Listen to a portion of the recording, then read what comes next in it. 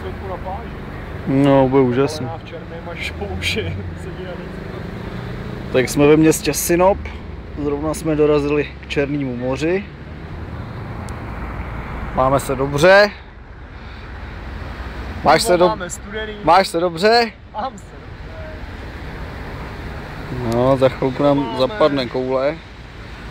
Je to tady moc hezký.